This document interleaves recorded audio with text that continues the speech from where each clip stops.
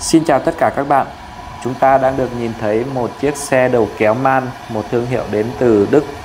Có thể nói đây là một quái vật trong ngành vận tải đường bộ. Khi mà chiếc đầu kéo này đăng ký sức kéo lên tới 263 tấn. Kéo theo sau là một chiếc mọc siêu trường siêu trọng với 18 chục bánh xe. Tổng cộng con quái vật này lên tới 158 bánh xe các bạn ạ.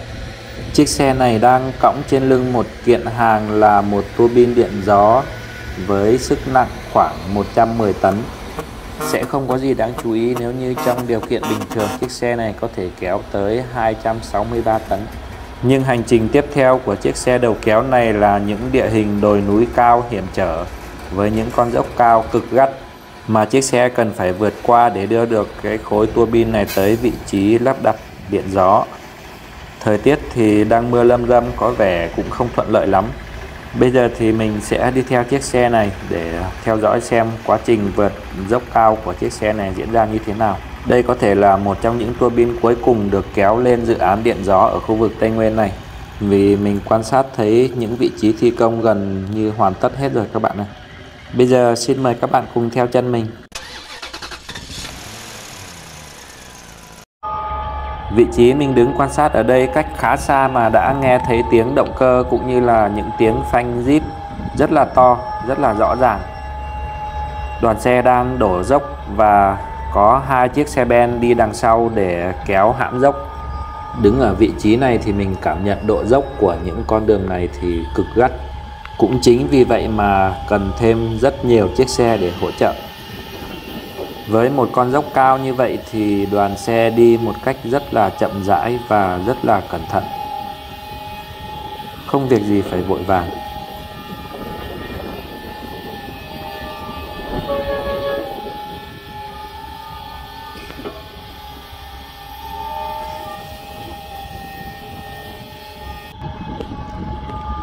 Đang có hai chiếc xe ben đứng đợi phía trước để sẵn sàng hỗ trợ kéo lên dốc.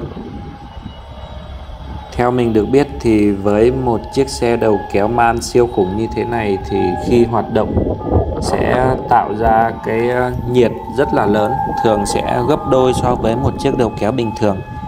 Nên chiếc đầu kéo này sẽ được trang bị thêm dầu làm mát hộp số riêng các bạn nhé. Và cái ờ, dầu mát động cơ cũng phải gấp đôi so với những đầu kéo bình thường.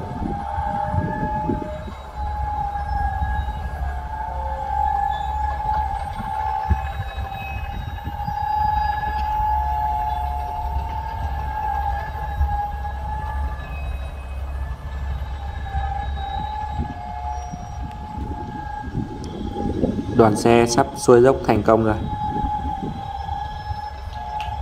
Riêng cái đầu kéo man này chưa tính mọc đằng sau là đã nặng tới 40 tấn rồi.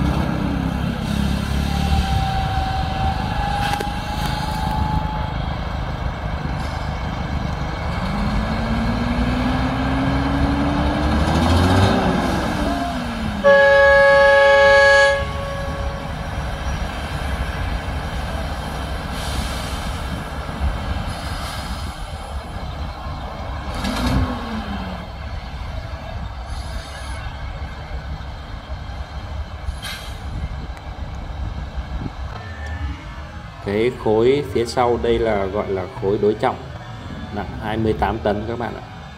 Còn ở phía giữa này đen đen, đây là thùng dầu của đầu kéo. Thùng dầu này khoảng 1.000 lít. Và những bình nhỏ nhỏ phía trên là những cái ờ, bình làm mát hộp số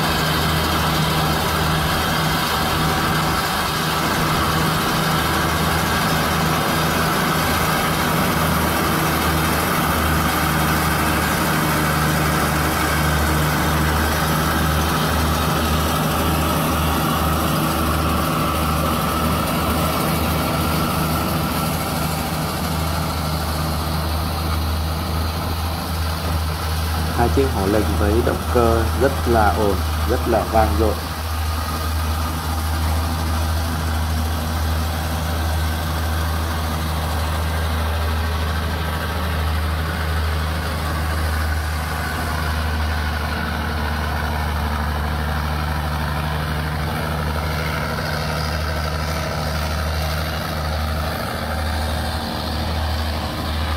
Đầu kéo man này có giá khoảng 12 tỷ Việt Nam đồng.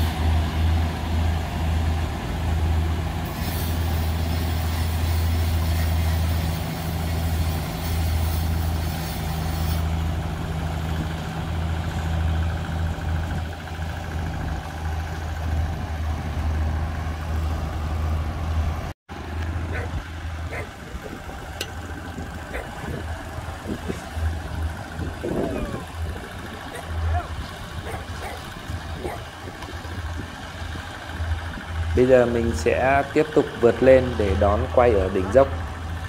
Tiếp tục nào.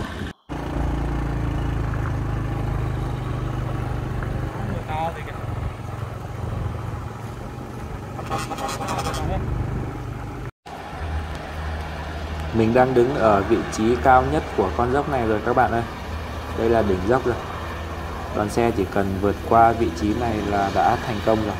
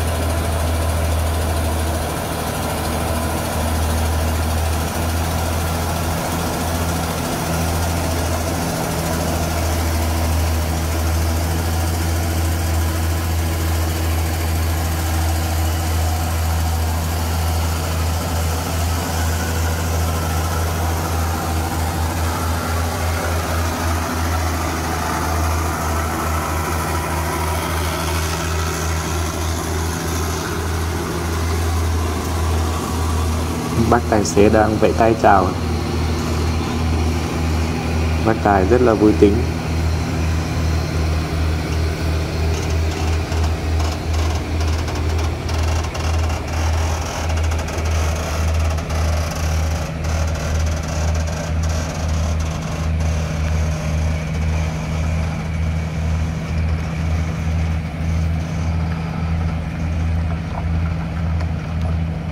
Vượt dốc thành công rồi các bạn ơi. Đây là con dốc cao nhất mà đoàn xe của chúng ta cần vượt qua. Video của mình cũng xin kết thúc ở đây. Hẹn gặp lại các bạn ở video